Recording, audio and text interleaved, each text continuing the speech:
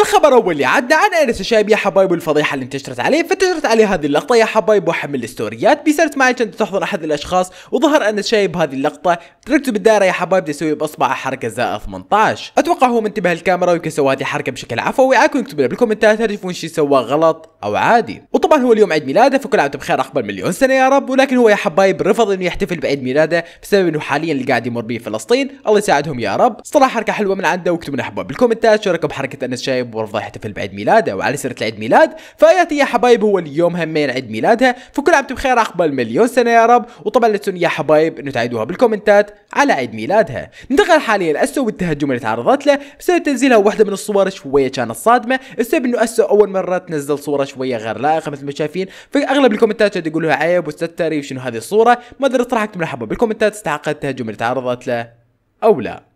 ننتقل حاليا يا حبايبي لاختها واللي هي مريم وردها على بعض الأسئلة فسألوها ليش ما مرتبطة؟ قالت إنه أنا ما عندي وقت للارتباط. بعدين سألوها إنه هل أنت راح تجين للعراق فقالت إنه جاية ولكن إن شاء الله قريبا. ولكن يا حبايب بعد واحد من المتابعين صار يقولها بدي نتزوج فهي هاي كان ردة فعلها وحتى هذا الشخص هاي برده فعلها فيعني واضح إنه ما تريد تتزوج. والخدام يا حبايب هي صارت تبكي بسبب حبها الكبير لمتابعيها. فاكتبوا لي بالكومنتات شو رايكم بهذا الشيء؟ وننتقل حاليا يا حبايب الالتقاء اللي صار بين قمر الطائي ومريانا اللي هو كان بعيد ميلاد عبد الله. فهل يا ترى ممكن يصير صلح ما بينهم وبنفس الوقت ممكن يصير الصلح بينها وبين يارا. بسبب إنه مريانا هي صديقة يارا ما أدري الصراحة اكتبوا لي بالكومنتات شنو توقعاتكم.